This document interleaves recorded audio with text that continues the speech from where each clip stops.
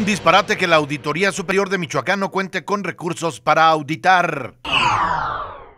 El Ayuntamiento de Morelia entra al buen fin con condonaciones a multas y recargos.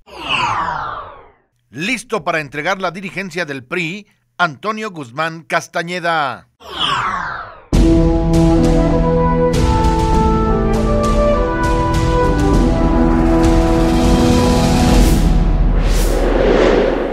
¿Qué tal? ¿Cómo le va? Con el gusto de siempre le saludamos a través de Urbis Noticias en este 12 de noviembre del año 2012. Antes de ir a la información queremos enviar un saludo muy afectuoso a los carteros en su día. Vamos rápidamente a las noticias.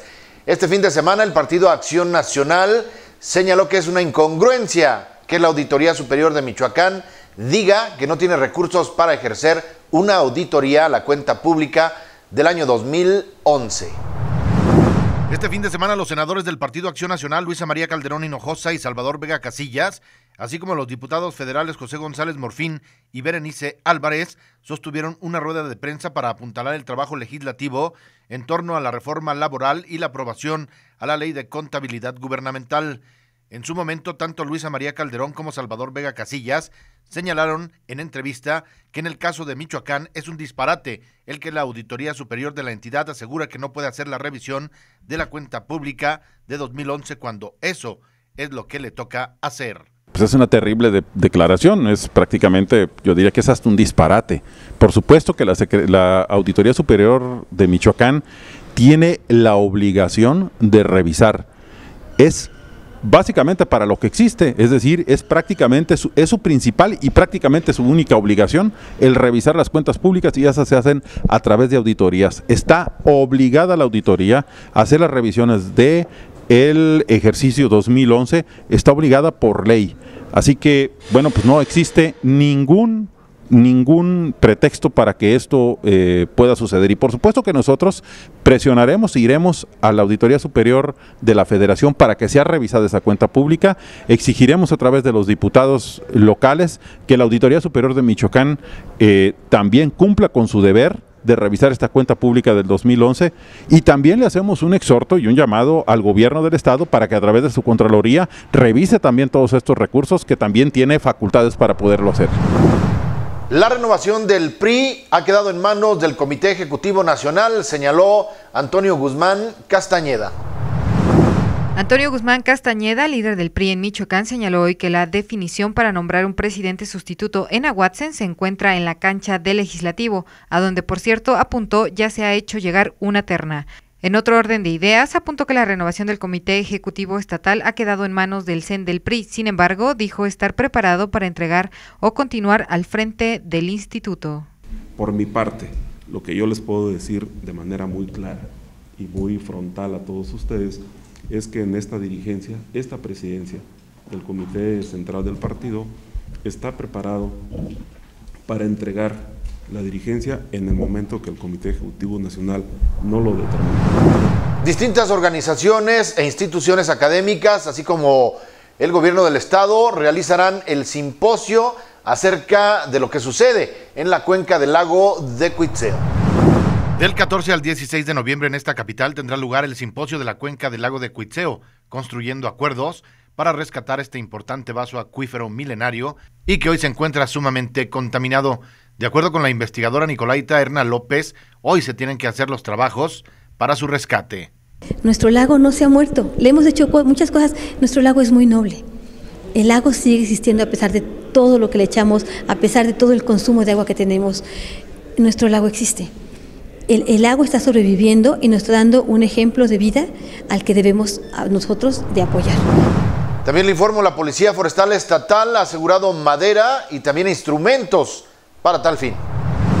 Más de 40 metros cúbicos de madera asegurada y la detención de cinco personas presuntamente relacionadas en delitos contra el ambiente fue el resultado de las acciones de protección a los bosques y combate al delito de la tala ilegal realizados en los últimos dos meses por la Policía Forestal en diferentes puntos del territorio michoacano.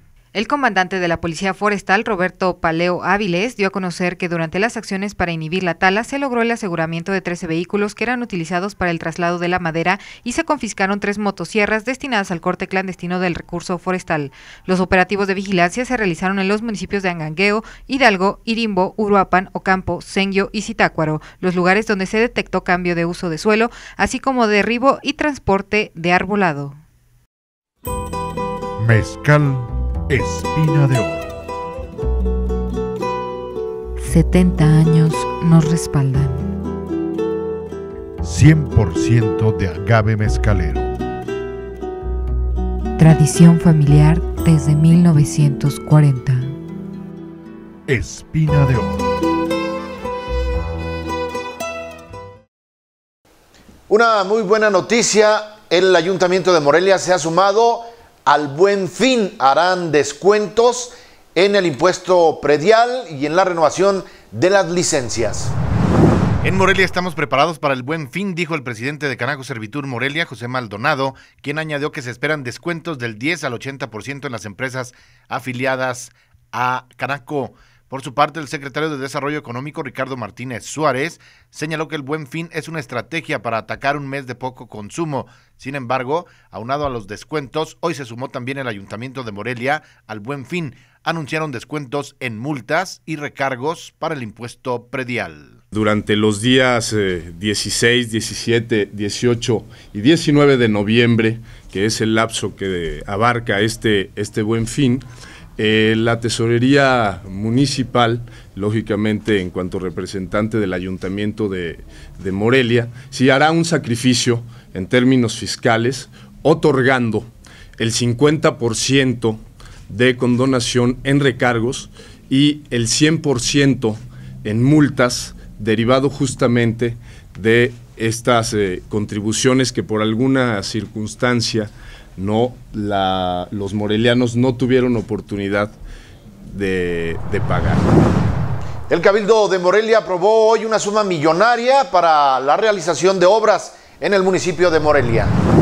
El Cabildo Municipal aprobó por unanimidad la ampliación por 32.975.331 pesos a la estimación de ingresos y al presupuesto de egresos para el ejercicio 2012, además de las modificaciones al programa de obras, con lo cual asciende a 677.933.899 pesos para financiar 687 obras. De la misma forma, los integrantes del Cabildo aprobaron las transferencias compensadas entre unidades programáticas presupuestarias con el objetivo de financiar la ejecución del programa de obra en beneficio de los habitantes del municipio de Morelia. Le presentamos en este momento el reporte UBAC.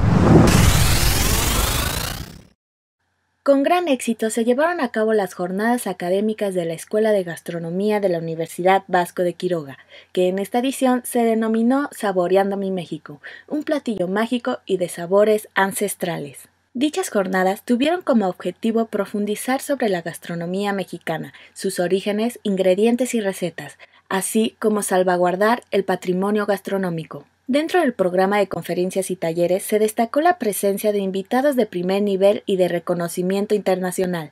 Tales fueron los casos de la cocinera Juanita Bravo y el chef Ricardo Muñoz Zurita, quienes compartieron su experiencia y recomendaciones con el alumnado. De esta forma, la UBAC promueve con entusiasmo y compromiso las tradiciones mexicanas. Informó Mariano Ortega. Está usted informado por su atención y preferencia, muchas gracias, ya lo sabe. Nos puede sintonizar a través de las redes sociales, estamos en Facebook, estamos en YouTube, Urbis Noticias. Que tenga un excelente inicio de semana. Nos vemos y nos escuchamos el día de mañana.